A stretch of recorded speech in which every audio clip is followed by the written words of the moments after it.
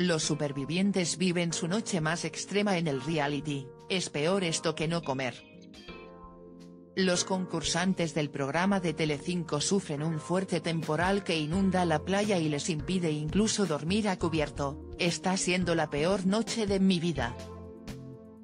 Los concursantes de Supervivientes 2023 están viviendo sus peores días hasta la fecha en Honduras. Si el programa ya se vio obligado a cambiar su mecánica el pasado martes en Tierra de Nadie por una fuerte tormenta, las condiciones meteorológicas no han mejorado en las últimas horas, llevando a los Robinsones a sufrir más que nunca. Tal como mostró Telecinco en el SV, última hora de este miércoles, los Royales y los Fatales pasaron su noche más dura por un temporal que inundó la playa, y que incluso impidió a algunos dormir a cubierto. Y es que las cabañas construidas por ellos mismos no fueron suficiente refugio ante la lluvia, y una marea que no paraba de crecer.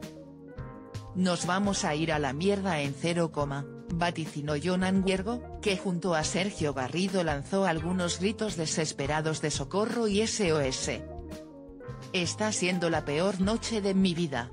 Con frío, los pies llenos de arena, la ropa mojada y ahora durmiendo bajo la lluvia, lamentó Raquel Arias.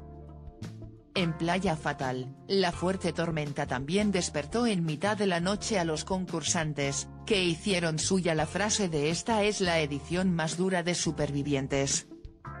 La lluvia va a acabar conmigo.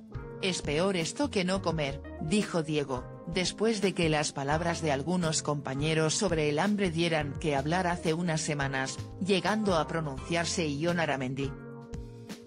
El exboxeador terminó durmiendo a la intemperie con Ginés y Manuel,